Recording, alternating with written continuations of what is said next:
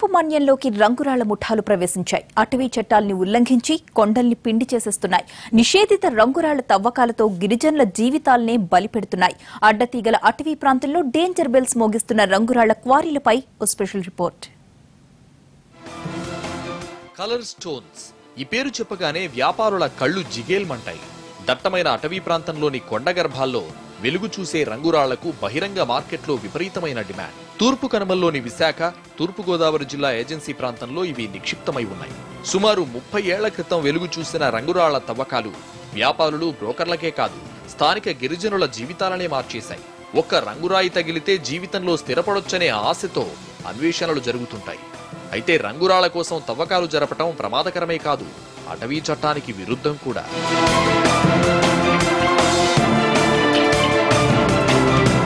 తూర్పుగోదావరి జిల్లా అడ్డతీగల సమీపంలోని తపస్సికొండ reserve forest రంగురాళ్ళకు కేరాఫ్గా గుర్తింపు పొందింది.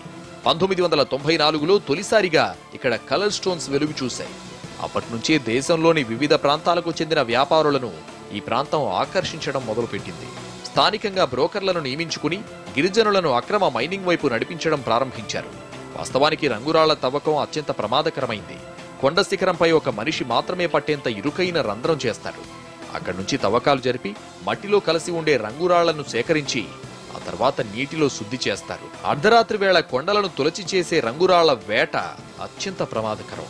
ఇటీవల కొంతకాలంగా అపరిచితులు ఏజెన్సీలో తవ్వకాలు నిర్వహిస్తున్నట్లు తెలుస్తోంది. రంగురాళ్ళు తేలికొండ నుంచి తవ్వుకొని పట్టుకుపోతున్నారు. నేను మధ్యన పట్టుకున్నాను అన్నారు కానీ నాకు ఏం తెలియలేదండి. ఈ మీద రంగురాళ్ళునని వచ్చి తీసి పట్టుకుపోతున్నారు. గిరిజనుల కష్టంతో వెలుగు చూసే రంగురాయి జాతి నాణ్యతను బట్టి ధర నిర్ణయించబడుతుంది. దేశీయంగా ఒక్కో స్టోన్ లక్షల రూపాయలు పలికిన సందర్భాలు ఉన్నాయి. అయితే ఇదంతా వ్యాపారుల కోణం. ఇక ప్రమాదమని తెలిసి ప్రాణాలకు తెగించి క్వారీల్లో రంగురాళ్ళను తవ్వితీసేది స్థానిక గిరిజనులే. అడ్డతీగల గంగవరం మండలాల్లో ఎనిమిది కలర్ స్టోన్స్ క్వారీలు ఉన్నాయి. వీటిలో కొన్ని మూతపడగా కొత్త వాటి కోసం ముఠాలు అన్వేషణ కొనసాగిస్తున్నాయి. ఎలాంటి సందర్భంలో అయినా ప్రమాదాలకు సమిధలయ్యేది పోలీసులకు పట్టుబడేది అడవి బిడ్డలే. గడిచిన రెండు దశాబ్దాల్లో రంగురాళ్ళ క్వారీల ప్రమాదాల్లో ముప్పై మందికి పైగా సజీవ సమాధి అయ్యారు. ఒక్క తపస్సికొండ క్వారీ ప్రమాదంలోనే ఒకేసారి ఏడుగురు సజీవ సమాధి అయ్యారు. దీంతో ప్రభుత్వం రంగురాళ్ళ తవ్వకాలకు అడ్డుకట్ట వేసేందుకు కఠిన చర్యలు తీసుకోవడంతో కాస్త తగ్గాయి.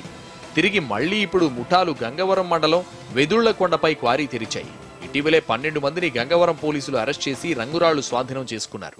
ఆ, గంగవరం మండలం చిన్నటపల్లి గ్రామ శివార్లో ఉన్నటువంటి వెదుర్లు కొండ అనేటటువంటి కొండ మీద ఈ కలర్ స్టోన్స్ ఆ, గురించి తవ్వకాలు జరుగుతున్నటువంటి సమాచారం మీద ఈ మీడియేటర్ సమక్షంలో అక్కడికి వెళ్ళడం జరిగింది.